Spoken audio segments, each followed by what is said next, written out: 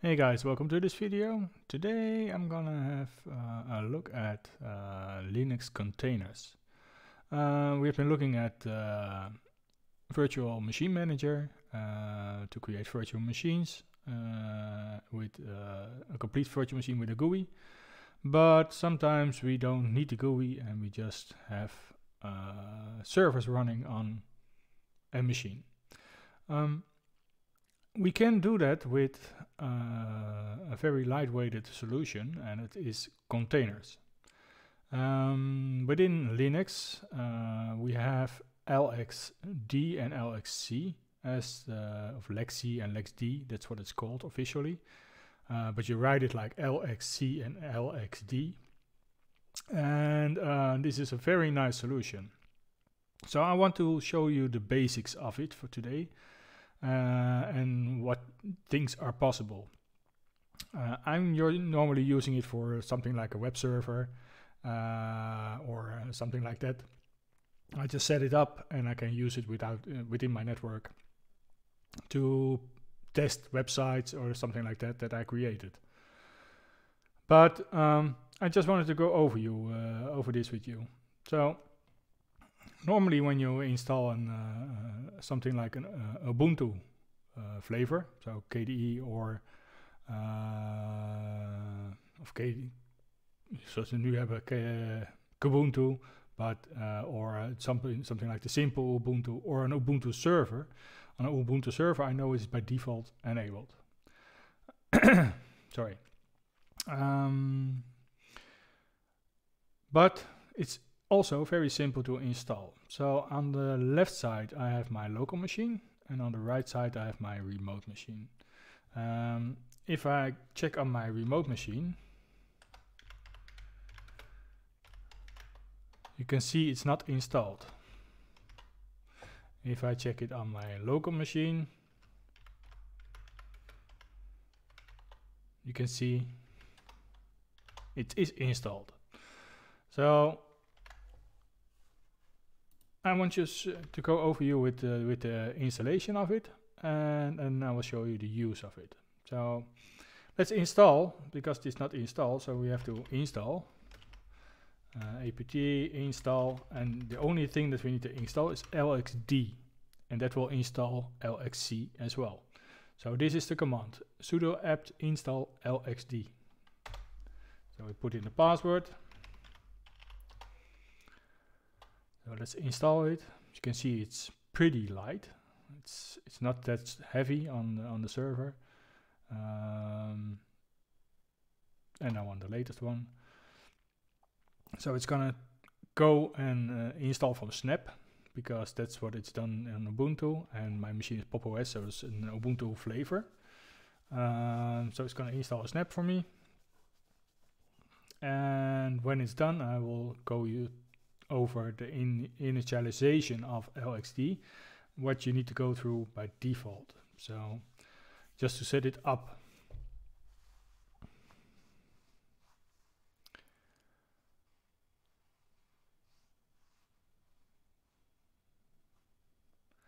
As it is a snap, it can take some time to install.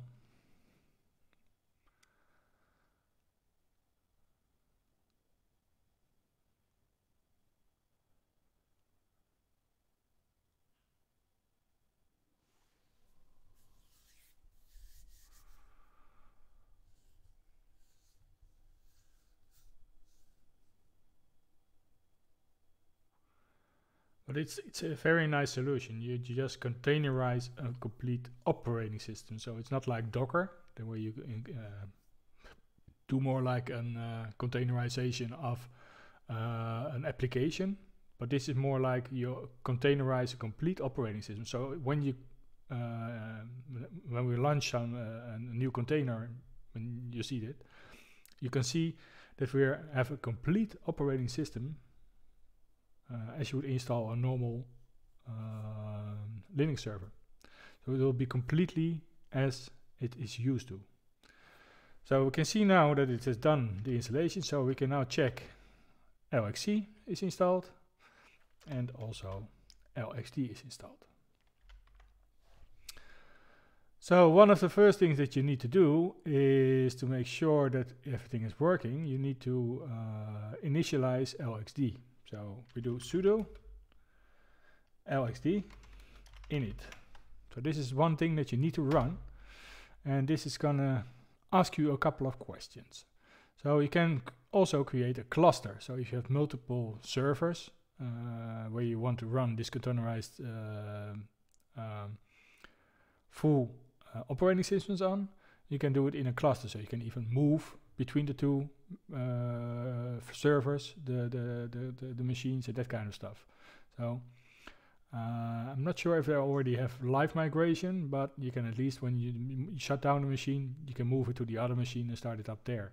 So this is pretty good, but we're just doing a single installation, so we do no.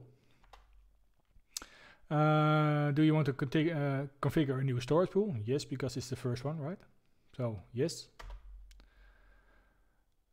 Then it's the, the name of the storage pool. I will just leave a default. Um, here it says uh, ZFS is the default one. I will put it as dir because that's what I'm used to. Uh, do you want to connect to an, a MAAS server? No. Um, do you want to create a local network switch? Yes, because we need it. Uh, the bridge is called like that, it's fine. Um, IP4, IP, IP version 4 address should be used, yes. Uh, auto or none, by default it's auto, so do it auto. Uh, the same for IP version 6. Uh, would you like LXD to be available over the network? Mm, no, not at this moment. Uh, would you like to still cached images to be updated automatically? Yes. So if there's a new image, like uh, if you want to have an uh, Ubuntu 1904 and there's an update on it, uh, it will download the update already when you're doing nothing. So that's pretty good. And when do you want to have an output of it? No, I don't want to have to put an output of it. Sorry. So you can see LXD is now completely installed. Um, for now, let's go over to this machine because I can show you a bit more. Um, we can show uh, with LXC, we have a couple of options. So here are the options that you have. So alias, cluster, config, console, copy, delete. And I will go over a couple of them. So if we do a remote list, uh, you can see list all the I will increase the size a bit so then we have uh, a bit more overview you can see uh, where the images are coming from. So images is an, uh, an uh, a remote and it's getting that from images.linuxcontainer.org. Uh, local, that's a default one. Local is just a local machine.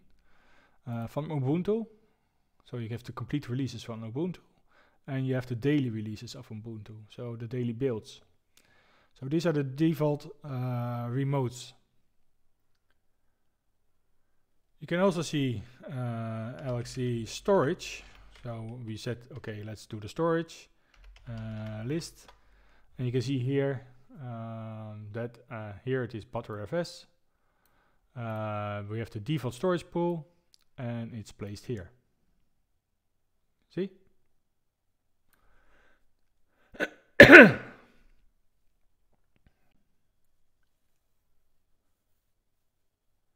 So if you, let me clear the screen, if you search for a, uh, a certain image, you can do LXC image list. I could type today. List and then uh, images. So this is a remote because I have nothing local yet. Do a colon and let's say I want to have uh, a Debian so I put in the first three letters of Debian and press enter. So now it's going over to uh, the remote server and lists here all the Debian based also add a couple of other ones. Why is it not showing just Debian?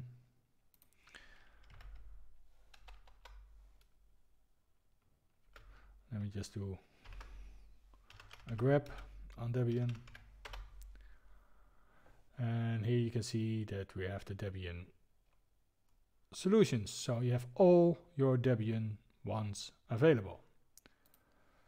Uh, let's go for Ubuntu. And here you can see all the Ubuntu flavors that we have. So let's say um, we have um, Ubuntu Photo Focal. That's not even released yet, but we have already a container image of it. Uh, virtual machine as well. You can see here. Um, but it's available already. So you can use all of them. Uh, and that's a pretty large list. Believe me. Yes, make it a bit smaller so you can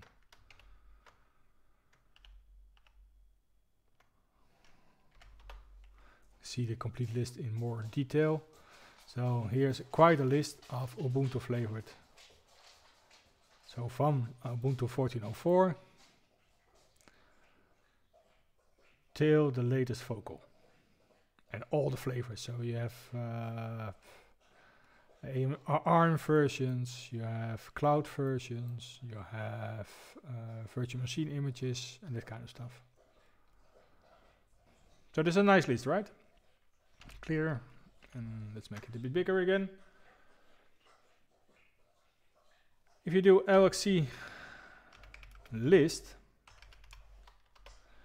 you can see all your installed images already. I have nothing installed yet here, so because I cleaned everything and I just wanted to give you a complete uh, overview. Uh, but with LXC list, you can get a complete list of all your containerized machines.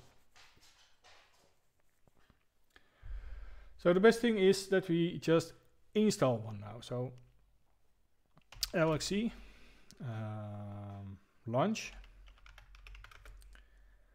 and we can use uh, images. So we get it by default from remote and then do uh, something like uh, Ubuntu um, 19.04 I think.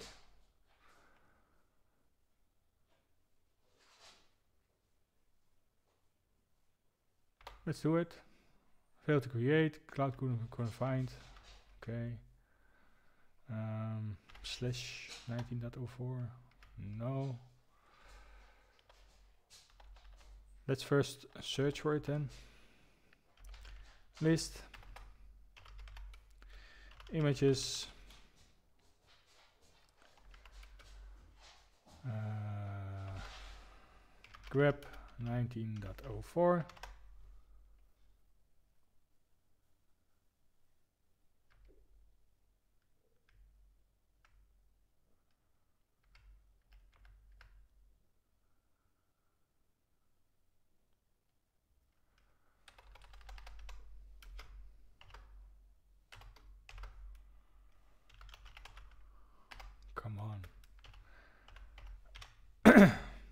Sorry for the mistakes, but okay, nothing. Why?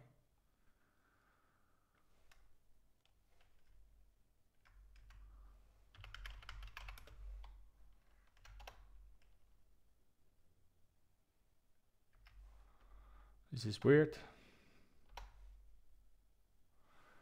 Okay, uh, 19.04, he cannot find it, so that's pretty strange.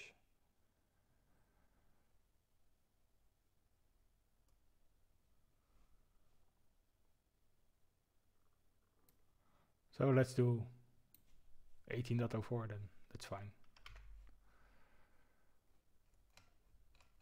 Right? Okay, um, so we're gonna do launch.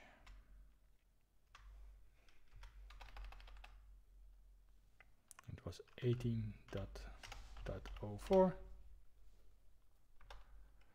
So then it's getting the image from remote, automatically downloading it. then it will unpack it. And then it creates a new name automatically. So now it, my machine is called enormous sculpin. So if I do LXC list,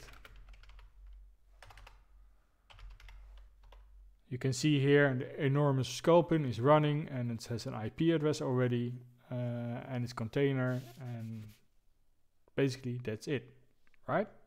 So we have a complete new installed system. Let me just show you, I will, I will delete this one. So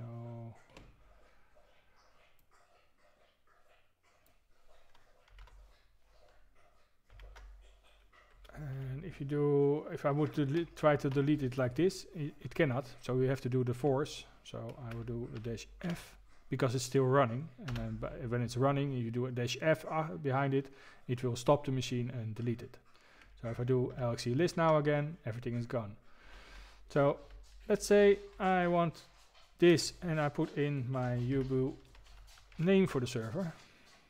So Ubuntu server number one. And then it's creating it because the, the image is already downloaded. We now can just deploy it. So it's very quick to create a new machine.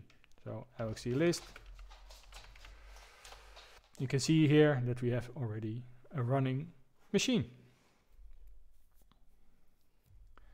So now I want to show you that it is a complete machine. So let me clear the screen uh, and we go into the machine. So we can do exec and then ubuserve.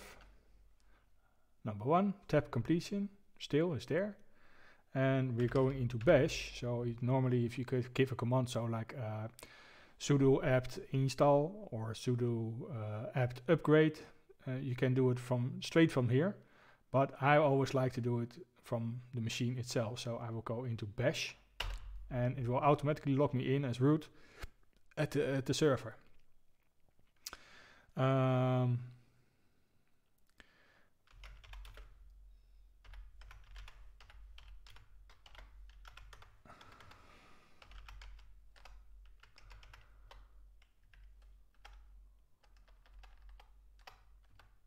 OS dash release. So here you can see that we are in the machine and really like Ubuntu Server 18.04 LTS edition. So it's completely new installed operating system. So I can also do sudo apt update. See? As we are already uh, root, we don't have to do the sudo, but so apt and then upgrade works fine. So we can have a complete system. So pwd, we can do slash and ls. You can see all the directories and all the complete like a normal installation of the virtual machine. Um, if we do nproc to show the number of CPUs, it has four. My local machine has four CPUs and everything is being given to this machine. If I do free, there's H, you can see the memory from my local machine is there and we're just using 22 meg. I will show you how to limit this later on, but by default, every virtual machine gets access to all your CPUs and all your memory. So it can be shared, can be balanced between the, all the machines. So if someone needs more memory, it can, uh, as much as free. Then um, you can see here that it's that it's a complete machine, right? Um, so let's install something uh, apt install let's install a web server so apache 2 on this machine so it's now installing apache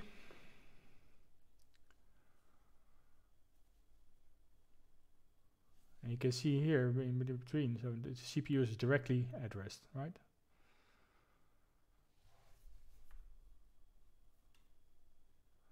So it's now unpacking, so it's ungrabbing, and then it should start installing it. Can also see some action on the disk now.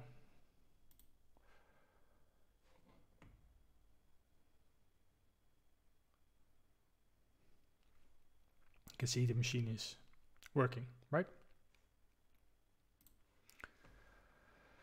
So er it's now installing and unpacking it.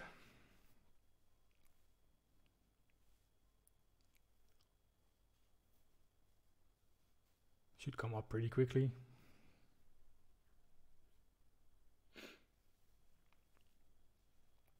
So this is how you normally do it on, on a normal uh, installed virtual machine, right?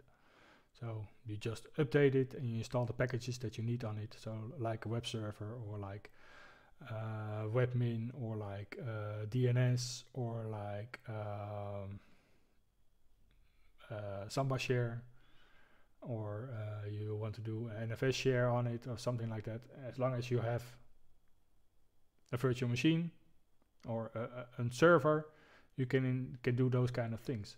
Uh, um, if you want to have an uh, authentication server and that kind of stuff, so you can uh, an, a MySQL server, you can separate all your servers within a couple of minutes. So you, you don't have to install uh, a complete operating system and then install everything. Uh, because if you do a complete operating system like in a uh, virtual machine, you have to assign a disk, you have to assign your memory, you have to assign your CPUs, and here everything is automatically done for you. So you just download the image, start it up, and that's it. Machine running. No problem. So Apache is now installed. So let's go into slash var slash ww, right? Yeah, and then HTML. And here we can see the index.html. So let me create a simple uh, test file.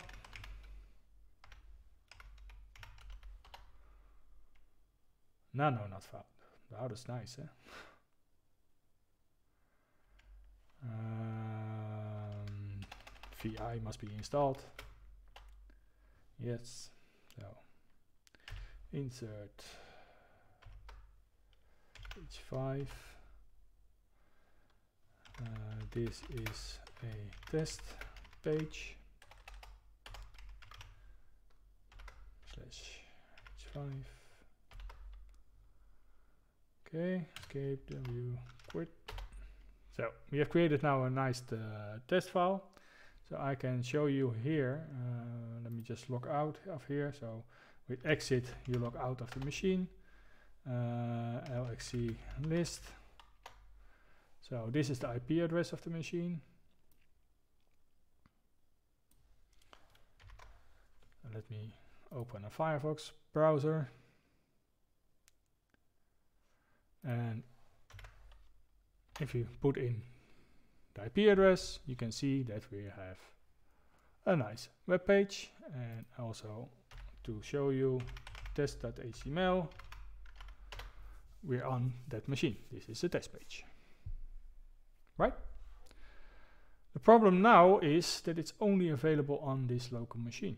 Because if I go to my other machine and here I have uh, links so this is a terminal based uh, web browser uh, https and then v slash test dutch html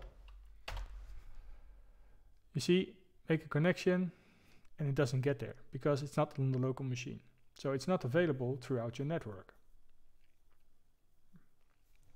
That's a bit of a pity, right? How can we create that one? Okay. Um, clear the screen. Uh, I want to show you uh, how we can create those things. Uh, we have profiles in LXC. So LXC profiles, profile list. By default, you get only one uh, profile, and it's called default, and it's automatically used. So I created a copy of the default one, so I did LXC uh, profile copy, and then I did default, and then I put in the name. So you put in the name, right? And then you copy the default one to that one. If I go into uh, and do edit and then in default, you can see here the default configuration. So um, here it is using uh, Ethernet 0. Uh, as a network, uh, you do the, the bridge network address and then it assigns that to that server. So now you can see also used by this instance. It's automatically added here.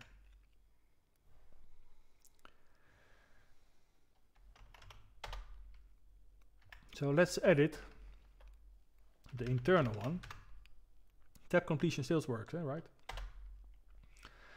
And, here is how I uh, get it done to create uh, the network connection so that we're getting an address from my uh, internal router.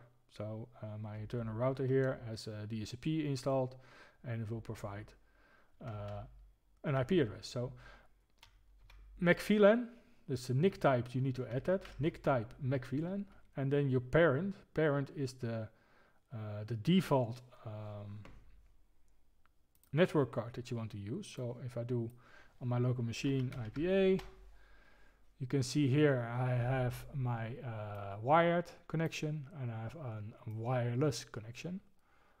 Uh, and you can also see here uh, the, the, the, the bridge Ethernet adapter uh, and what it's giving. So there's also a scope there for providing it to the virtual machines. Yeah, uh, but I assigned it to this wired network card. So this is the ES EMP0S25. And uh, we saw previously we saw that it was uh, here it stated uh, network instead of parent. So now we are gonna go directly via Ethernet 0 to the parent one. So that's the parent one is my local uh, wired connection and it's getting an IP address from there. So it's not used yet. So it's pretty simple to create it like this, right? So let me just quit out of it. And if I do LXC list, you can see still that we're having this one, right?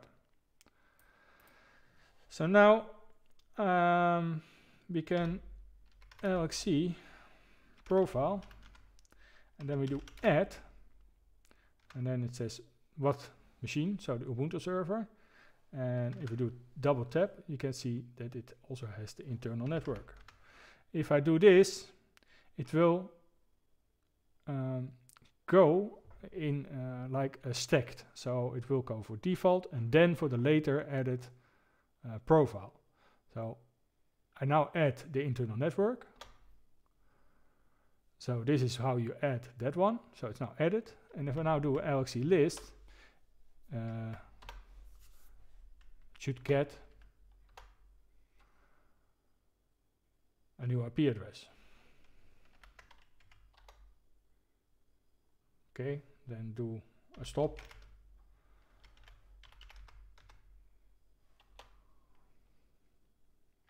and a start.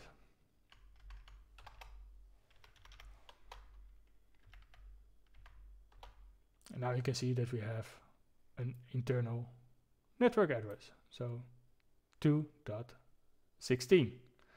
The problem now is if I do instead of 140 and I go to 192.168.2.16 locally it doesn't work anymore so you cannot connect to the machine. But if I go here and I will change this IP address now.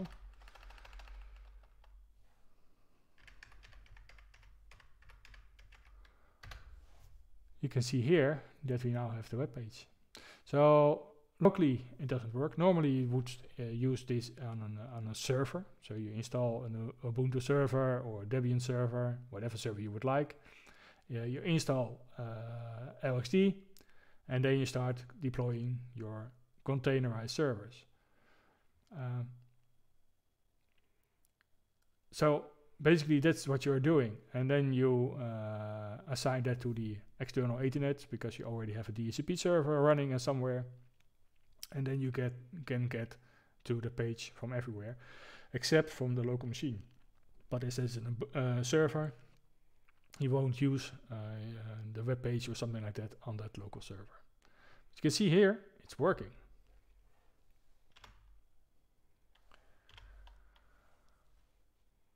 So locally it might not be working, but externally it works now fine. Uh, if someone knows a solution how to get it locally working, please leave a comment because I didn't find anything yet. So uh, that's it. Um, what else would I like to show you? Um, if you have a server like this already running, we can also do LXC uh, copy uh, to let's say Ubu server dot two. And now if we do LXC list you can see we have two servers now. And if I start that server LXC start Ubu server 2 you can see that we have two web servers running in a very short period. So you can see here how easy it is to create uh, virtual machines and also how uh, low uh, the impact is on your machine. So if you look here at the memory usage, it's not that much, uh, 1.4 gig. Well, we have two servers running. Uh, CPU uh, is more like, this is because of OBS. Can see here, OBS is 14% CPU, so it's not the, the, the, the local machines that's running uh, this much uh, memory or CPU load. So if I would do uh, LXC mm, exec, let's take Ubu server 1 and then uh, exec free dash h uh, free also good. Uh, you can see here uh, that it's used 30 meg. And if we do that for server 2 it's also used that's 32 meg. Now all CPUs are assigned automatically to all the machines but we can limit it. Um, so let me just simply show you that one. Uh, LXC and then profile set so let's say I want to set something in the the default one and I want to set uh, a limitation on the CPU. So limit dot CPU, and I set it at two. So every machine has two CPUs. So let me just also show you. So uh, LXC profile. Um, show default you can see now that the CPU limit is set to 2 here. If I now go into my machine, let's say 2, and go into bash, and I will do uh, nproc to show me the CPUs, you can see it's automatically set to 2. Um, exit and if I do it in server 1 it's also set to um, 2. Yeah. Uh, if I would also set, let's uh, let's say, uh, limits uh, memory and set it to 2 gig. So every server gets only 2 gig of my 12 gig of memory.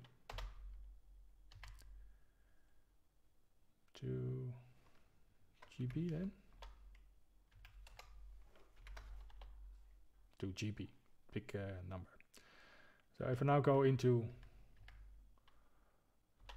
my first machine and I do here free, you can see that we only have 2 gig of memory. Uh, free -h so previously we had 11 gig, but now we have 2 gig.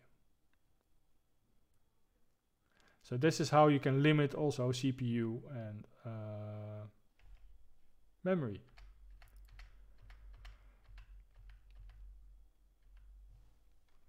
Let me just get out of here.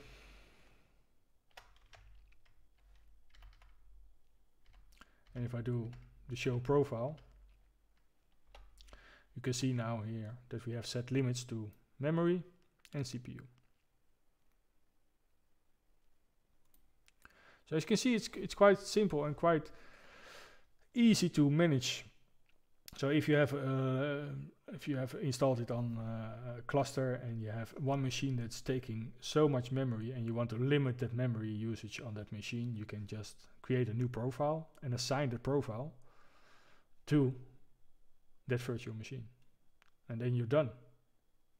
So you just copy, like say, the, the internal uh, one to uh, internal with memory limit uh, and you assign that with memory limit, you get it done in like, uh, yeah, it's instant. So as soon as you do the change, it's instantly created. So I already showed you how to uh, delete something forced as well. So uh, I think uh, we're done here, guys. I hope you like this video. Uh, I hope you find it uh, interesting. Um, if you want more information about it, uh, you can search online on uh, linuxcontainers.org. You get a lot of information there. There's a complete manual as well. Um, if you have any further questions that you would like to know, please like in uh, like uh, put something in the comments, and I will try to respond as possible. Uh, and yeah, if you want to see more like this on the channel, let me know, guys, and uh, I will uh, do as much as possible. So for now, thanks for watching. Hope you liked it. Leave uh, a comment. Of course, like, subscribe, everything that you always ask me, when you, what you always ask me to do. And I will see you in the next one. Bye for now, guys. Have fun with Linux.